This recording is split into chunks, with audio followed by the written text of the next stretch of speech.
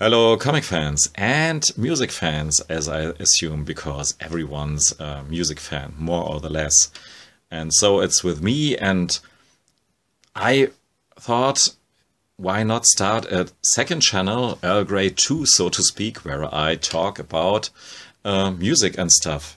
And that's exactly the title of my second channel, which I started right now, today uh, with a video about uh, three songs from 1967.